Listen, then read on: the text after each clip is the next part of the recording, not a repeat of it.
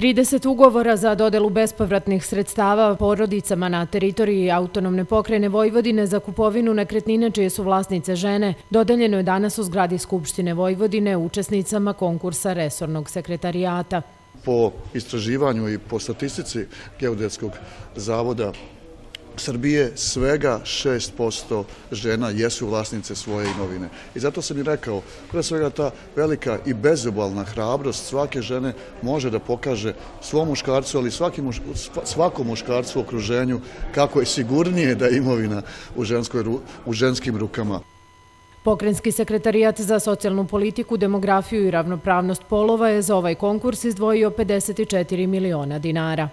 I kažemo, pre svega, da je to neka vrsta i pomoći, osnaživanja, miraza, što smo malo pre rekli, ali pre svega vodimo računa ne samo o ženama koje su u braku, uvek prvenstvo imaju i samohrane majke, ali naravno i svaka žena koja se pa negde i ohrabri da bi uopšte konkurisala i pokazala da može postojeno da stoji ravnopravno u svog muškarca.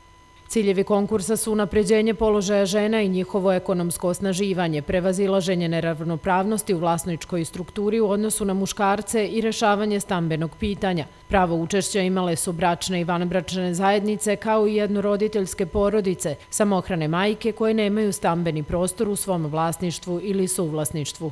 Savjetovala bi svakako da se prijave kad vide konkurse, ja sam videla preko medija, tačnije preko Sremsko-Mitrovačkog portala. To je bilo sve u zadnji moment. E, smo i spremili papire i predali smo, naravno, nadali smo se s obzirom da imamo malu bebu.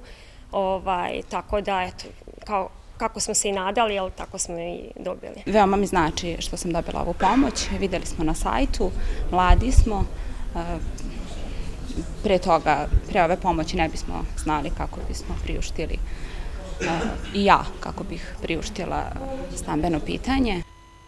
Počevši od 2022. godine, Pokrenjski sekretarijat za socijalnu politiku, demografiju i ravnopravnost polova je do sada četiri puta raspisivao ovaj konkurs, zahvaljujući kojem je 106 žena, od kojih 49 samohranih majki, ostvarilo vlasništvo nad nekretninom. U tom periodu za ovu namenu je ukupno utrošeno 172 miliona dinara.